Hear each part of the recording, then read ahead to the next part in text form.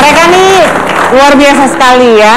Jadi tim bukan empat mata bersama saya turun uh, survei, tanya-tanya mereka nih kebetulan nih Mas ya. Jadi kurang lebih ada 50 orang yang kami tanya. Pertanyaan pertamanya simpel aja. Perasaan Anda bekerja dengan supermodel ya, Renaldi. Perasaan mereka. 10 orang menjawab senang sekali. Wow ya. Iya ya, oke. Okay. 11 orang menjawab lumayan senang. Sisanya 29 orang bilang senang sekali kalau bos lagi tidur. Wow. Jujur, jujur. Jujur ya. Iya, cuma cuman dua pertanyaan yang kita tanya. Yang kedua ini juga kita uh, berusaha untuk bertanya, menurut Anda bagaimana wajah bos Anda? Ya. Delapan orang bilang enak dilihat kadang-kadang. Delapan orang, Mas. Sembilan orang bilang sangat ganteng dan tampan apalagi kalau lagi bagi-bagi duit. Wah. 16 orang bilang ganteng kalau lagi sendiri katanya. Wah, oke okay ya.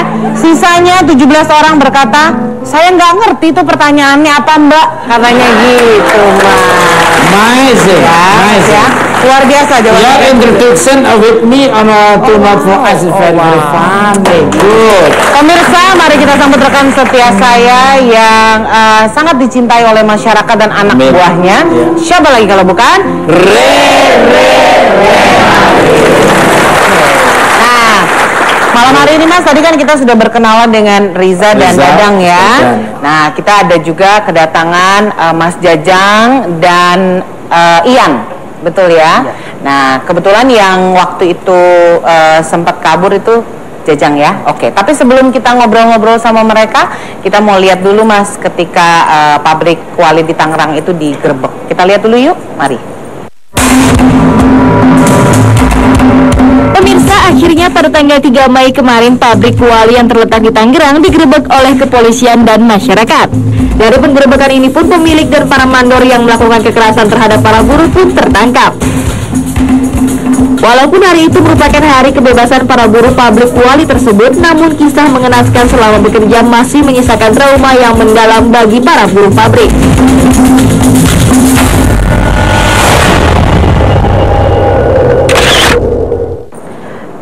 Jajang kalau lihat tadi teman-temannya uh, yang dibebasin kenal semua ya sama mereka ya. Nah, kebetulan uh, Jajang ini yang sempat kabur nih, Mas. Lolos. Uh, uh, lolos. Uh, boleh diceritain sedikit uh, Jajang gimana uh, proses larinya kamu keluar? pas waktu itu pas mandor lagi berantem di belakang terus mandor itu eh, disuruh ke depan udah itu saya lari lewat belakang ada eh, ruang ruangan kecil gitu. Sekitar 30 ke 20 cm saya lari dari lewat sana Oke, jadi cari kes- curi kesempatan Mas. Pas mandor-mandornya uh, sedang ada berantem ke depan, kamu akhirnya bisa berhasil kabur ya.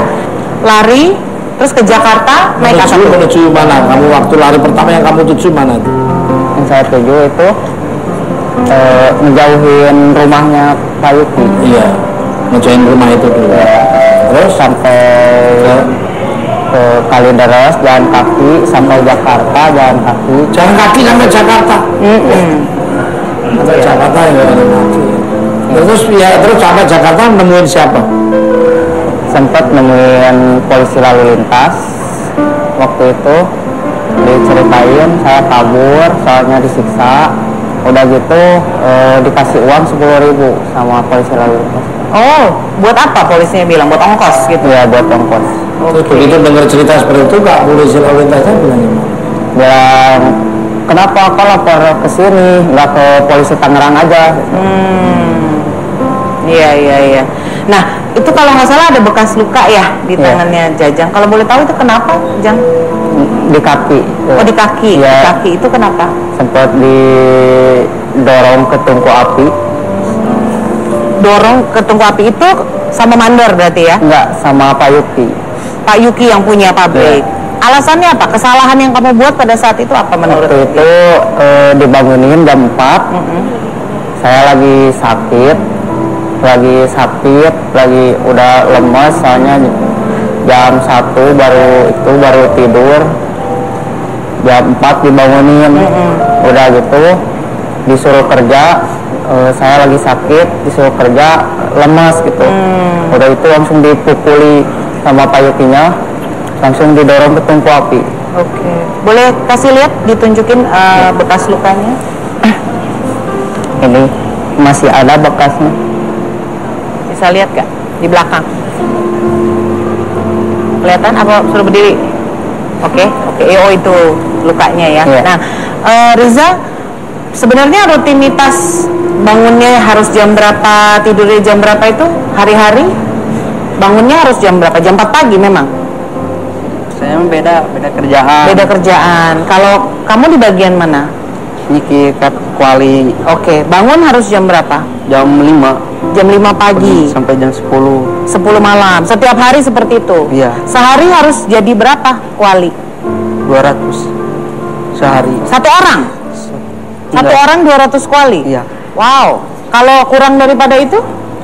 Apa? bawa ya? ke gudang Dibawa ke gudang. langsung digampar Oh, oke. Jadi ditargetin gitu loh Mas satu orang. Satu orang 200. Banyak Bukan sekali ya. Satu eh, 200 untuk semua orang enggak. orang Per orang.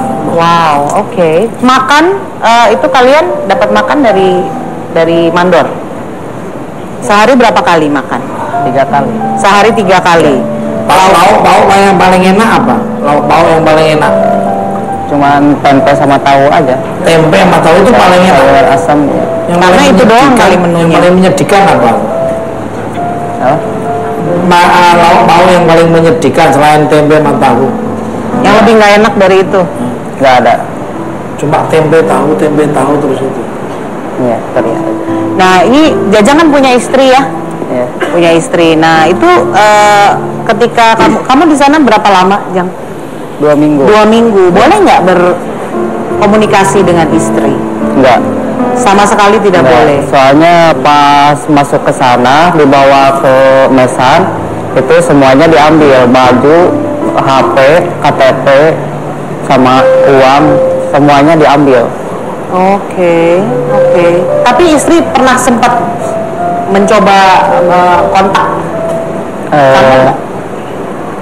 sempet katanya ke sana ke Tangerang udah gitu ada mandor yang bilang eh, katanya udah dipulangin semua Oh, jadi mandornya bilang semuanya udah dipulangi Iya. gitu.